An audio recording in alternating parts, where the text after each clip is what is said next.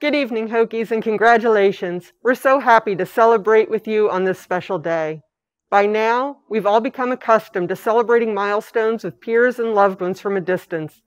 Your professors and I wish we could be with you in person to experience the energy of commencement and see you walk across the stage.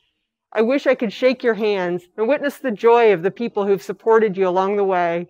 But for now, I'm so glad that you could join us remotely to celebrate in your own ways at home.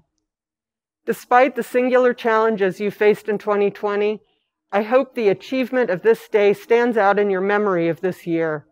Today, you complete your engineering degree, and I hope you'll savor the moment, pause, and reflect on all you've accomplished. Our engineering graduates will explore a broad range of fields and passions as you move into whatever future you have planned. I'm confident in your ability to make our world a better place through the same hard work, determination, collaboration, and commitment to community that has marked your time here at Virginia Tech. Our communities at the local, national, and global level need thinkers, creators, and problem solvers like you now more than ever. Know that Virginia Tech was proud to welcome you to campus in that acceptance letter way back when, and today we're proud to call you alumni. We're here to provide a lifelong network of support among fellow students, faculty, and staff as you navigate these still uncertain times.